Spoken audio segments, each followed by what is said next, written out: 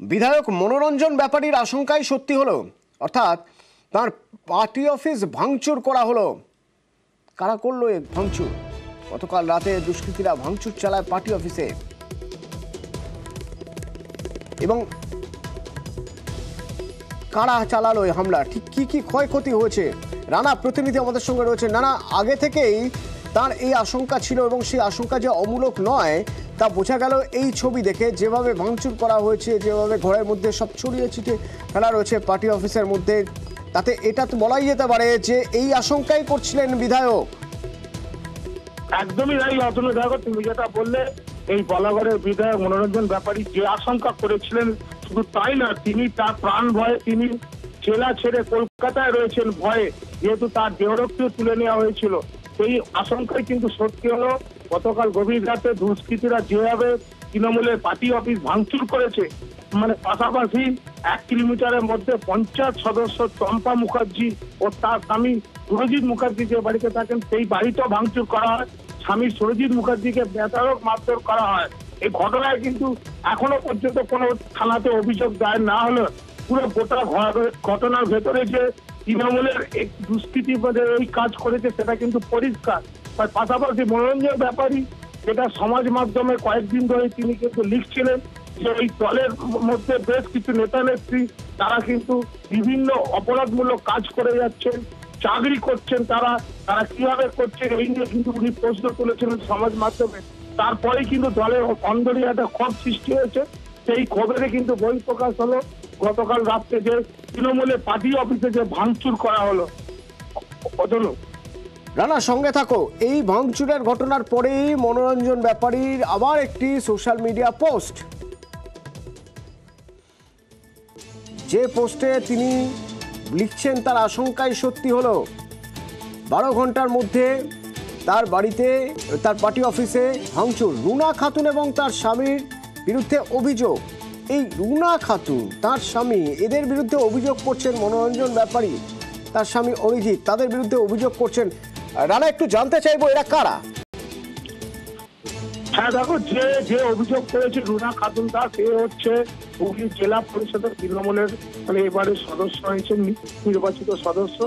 স্বামী অরিজিৎ দাস হচ্ছে সিজা কামালপুর গ্রাম পঞ্চায়েতের মানে উপপ্রধান। ফলে স্বামী স্ত্রী দুজনেই কিন্তু তৃণমূলের সক্রিয় নেতা, নেত্রী। সেখানে তাদের বিরুদ্ধে এই যে মানে অভিযোগ, এটা কিন্তু দীর্ঘদিন ধরে যে মনোরঞ্জন ব্যাপারে কিন্তু আজ করছিলেন। বিশেষ করে এই যে রুনা খাতুন দাস তিনি কিন্তু স্কুলে তিনি একটি শূন্য পদ তৈরি করে তিনি চাকরিও করছিলেন। সেই বিষয়ে কিন্তু সরব হতেই কিন্তু আজকে এত বড় একটা বিস্ফোরণের ঘটনা যেটা সামনে এলো, যে তৃণমূলের দলীয় পার্টি অফিসকে ভাঙচুর করা হলো। যেহেতু উনি সমাজ মাধ্যমে মুখ খুলেছেন বলাগড়ের বিধায়ক মনোরঞ্জন ব্যাপারী। সঙ্গে থাকো, আমাদের সঙ্গে থাকো। ভোলাগড়ের বিধায়ক মনোরঞ্জন ব্যাপারী আগেই সোশ্যাল মিডিয়ায় পোস্ট করেছিলেন, আশঙ্কা করেছিলেন, তার উপর হামলা হতে পারে। তিনি এলাকা ছেড়ে কলকাতায় এবং গতকালের সেই ছবি, গতকালের সেই ছবি, ভাঙচুরের ছবি, পার্টি অফিস ভাঙচুরের ছবি, সেই ছবি যখন, সেই ছবি দেখানোর পর, তারপর এখন মনোরঞ্জন ব্যাপারীর যে পোস্ট, সেই পোস্টে তিনি বলছেন যে তার আশঙ্কাই সত্যি হলো। সেই পোস্ট আপনারা দেখছেন।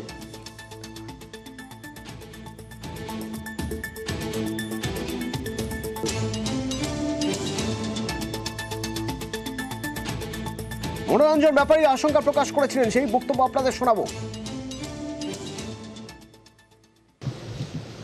এখনও পর্যন্ত আমাকে বিজেপির মুখোমুখি হতে হয়নি, সিপিএমের মুখোমুখি হতে হয়নি আমাকে যা কিছু বাধা সামনে পড়তে হচ্ছে, সেটা সব তৃণমূলের মধ্যেকারই এক দল তৈরি করছে। ওরা কি করল? চাপ দিয়ে সেই কলকাতার সিকিউরিটিটাকে তুলিয়ে দিল। আমি কালকে সারাদিন ঘুরেছি এসপি অফিসে। প্রত্যেকে বলছে, অনেক উঁচু জায়গা থেকে চাপ এসছে। অনেক উঁচু জায়গা থেকে চাপ এসছে। তারা কেউ নাম বলতে চাইছে না। বলছে, অনেক উঁচু জায়গা থেকে। আমাদের সঙ্গে ফোনে রয়েছেন রুনা খাতুন। আপনার বিরুদ্ধে অভিযোগ উঠছে আপনার এবং আপনার স্বামীর বিরুদ্ধে অভিযোগ করছেন মনোরঞ্জন ব্যাপারী যে আপনারাই এই পার্টি অফিসে ভাঙচুর করেছেন। কি বলবেন? শুনুন, ওনার সম্পর্কে আমার কথা বলতে অবশ্যই রুচিতে বাজছে ওনার কোনো সমস্যা থাকলে উনি দলকে জানান, উনি দলকে বিড়ম্বনায় ফেলছেন। ওনার মনে রাখা উচিত যে আজকে ওনাকে যে নামে সবাই চিনছে, জানছে, উনি নিজেকে সাহিত্যিক বলেন, কিন্তু ফেসবুকে যে ভাষা উনি লেখেন তাতে উনি যে স্বশিক্ষায় শিক্ষিত এবং জেলে বসে অবাক অকা শিখেছে সেটা বারবার প্রমাণিত হয়। ওনাকে দল অনেক সম্মান এবং গুরুত্ব দিয়েছে এবং জনপ্রতিনিধি হয়েছে। যদি ওনার মনে হতো যে আমরা কোনো অনৈতিক কাজ করছি, আমি বা আমার স্বামী হোয়াট এভার যেই করুক না কেন উনি দলকে লিখিত দিতে পারতেন, প্রশাসনকে দিতে পারতেন। আপনাদের কি দেখাতে পারবে যে উনি কোনো প্রশাসনিক পদক্ষেপ নিয়েছেন? উনি ফেসবুকে আমার বিরুদ্ধে কুরুচিকর মন্তব্য করেছেন, কারণ ওনার টাইম লাইনে থাকার জন্য ব্যক্তিগত কুরুচি আক্রমণের শিকার হয়েছি আমি, কারণ ওনার অনৈতিক কাজের বাধার কারণ আমি। কাজেই আপনারা জানেন না যে গতকাল রাত্রির উনি ফেসবুকে আমার সম্পর্কে এত অশালীন ভাষা লিখেছে যে ওটা দেখলে যে কোনো মানুষ লজ্জা পাবে যদি তাদের মান আর হুঁশ থাকে। আর প্রত্যেকটা পুরুষের মনে রাখা উচিত, তারা প্রত্যেকটা নারীর কোল থেকেই জন্ম নিয়েছেন। মনোরঞ্জন ব্যাপারী একটা নারীর গর্ভ থেকে জন্ম নিয়েছে। উনি যেভাবে ফেসবুকে আপনারা যেগুলো দেখতে পাচ্ছেন পাচ্ছেন, তার বাইরেও উনি কালকে ডিলিট করেছেন কিন্তু আমাদের কাছে সেটা স্ক্রিনশট নেওয়া আছে। আগে সেইটা ওনাকে প্রশ্ন করুন, যে ভাষায় রুনা খাতুনকে আক্রমণ করলে আপনি প্রশাসনিক কি পদক্ষেপ নিয়েছিলেন? যদি আপনার মনেই হতো রুনা খাতুন অন্য কিছু করছে আমি একজন সামান্য জল জেলা পরিষদের সদস্য আর উনি একজন বিধায়ক। আমার থেকে অনেক বেশি উনি ক্ষমতাশালী। উনি দেখাতে পারবেন না। এর পিছনে বড় ব্যবসায়িক অভিসন্ধি আছে। উনি এলাকায় থাকেন না এলাকায় আসছেন না এলাকার মানুষ ওনাকে চেনেন না। উনি কোথায় থাকেন? কার কাছে থাকেন? কি কাকে কোন ব্যবসায়িক সুবিধা পাইয়ে দিতে চাইছেন বরাবরটা তুলে দিতে চাইছেন এই প্রশ্নটা ওনাকেই করুন। আপনার কাছে আমার আরেকটা প্রশ্ন থাকবে। আপনারই তো দলের পার্টি অফিস। সেই পার্টি অফিসে ভাঙচুর চালানো হলো। কি মনে হয় আপনার? কারা করল? এটা পুলিশ প্রশাসনের কাজ। উনি কমপ্লেন দিক, নিশ্চয়ই দল খুঁজে বার করবে। আর দলের পার্টি অফিস বলছে, আমি জানি না, বিধায়কের পার্টি অফিসটা ওখানে কবে গজালো। মানে বিধায়ককে তো আমরা কোনোদিন দেখেই নি ওরম কোনো অফিসে বসতে। মানে উনি নিজে প্রমাণ দিতে পারবেন তো? মানে কদিনের অফিস? ব্যাঙের ছাতার মতো কোথাও গজিয়ে উঠলে সেটা কি অফিস হয়ে যায়?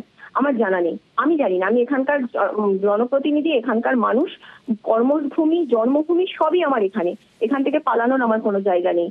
উনি পালিয়ে যেতে পারবেন। কাজে মানুষের কাছে দায়বদ্ধ আমি, দলের প্রতি দায়বদ্ধ আমি ওনার মতো এরকম অশালীন কথা আমি বলতে পারি না। উনি ওনার রুচিবোধের পরিচয় দিচ্ছেন। এখনও সময় আছে, সংযত হন। ধন্যবাদ ধন্যবাদ। জেলা পরিষদ সদস্য হুগলির রুনা খাতুন, যার বিরুদ্ধে অভিযোগ করেছেন মনোরঞ্জন ব্যাপারী, বলাগড়ের বিধায়ক, যিনি বারবার অভিযোগ করে আসছেন যে তিনি এই রুনা খাতুন এবং তার স্বামী, তারা হামলা করেছেন, দলবল নিয়ে হামলা চালানো হয়েছে, জিরাটের কার্যালয়ে। মনোরঞ্জন ব্যাপারী এই অভিযোগ করছেন। এবং তারই পাশাপাশি মনোরঞ্জন ব্যাপারীর ঘনিষ্ঠ আরও একজন তার বাড়িতেও হামলা করা হয়েছে। তার বক্তব্য চম্পা মুখার্জি তার বক্তব্য শুনুন।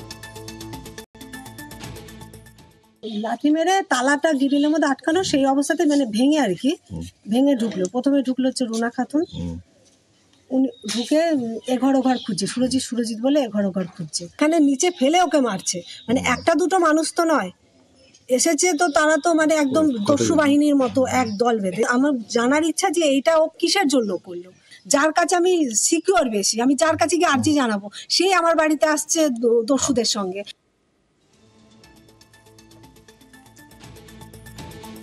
নানা প্রতিনিধি আমার সঙ্গে রয়েছে। নানা একেবারে ব্যক্তিগত স্তরে দুজন মনে একদিকে মনোরঞ্জন ব্যাপারী, আরেকদিকে দেখা যাচ্ছে এই রুনা খাতুন। তাদের দুজনের মধ্যে যে আকচা আকচি, এটা কত দিনের কি নিয়ে শুরু হয়েছিল? কেন এমন একটা পরিস্থিতি তৈরি হয়ে গেল? দুজনেই দুজনের বিরুদ্ধে ক্ষোভ উগরে দিচ্ছেন।